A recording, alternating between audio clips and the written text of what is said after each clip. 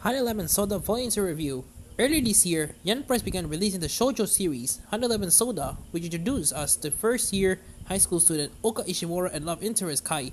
With Volume 2 in hand, let's find out how the relationship develops. Thanks to spending time with Kai, Oka has found some footing in the school hierarchy, but that doesn't mean she still she isn't still be, being made fun of, her, of or teased by her classmates. As we reunite with her own, we find her on a class hiking trip, which will be hosted as a welcome event for first year students. It turns out on the day when her gym uniform and a backpack filled with everything you could he- need for a hike.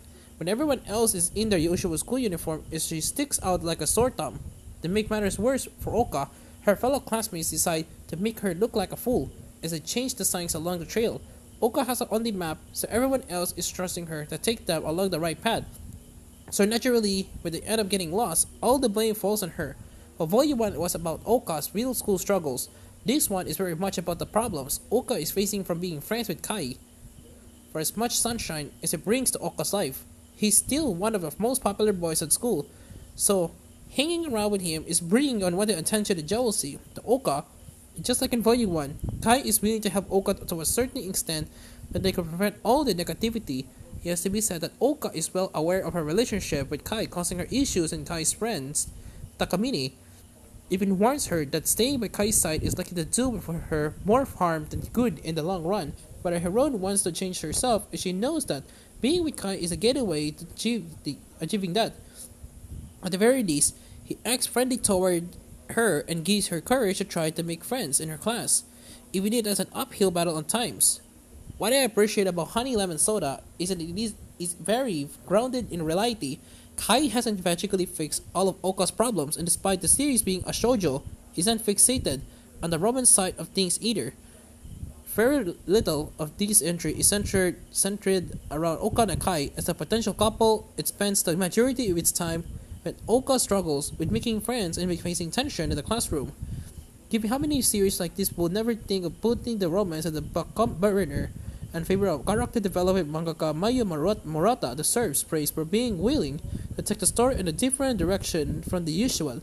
Building strong foundations that will pay off down the road, where the romantic aspect does come to the forefront and ultimately will be easier to buy into when oh Oka is in a better place. Right now, she has her traumas to face and getting over those. Gaining confidence and otherwise feeling comfortable in herself is not a short process. Jumping feet first into being together with Kai with their differences in social standing will be highly detrimental to her mental health. Perhaps most importantly, now that I read the two volumes of this and watch how Murata approaches the story, I'm beginning to see how it has become such a long running and popular series.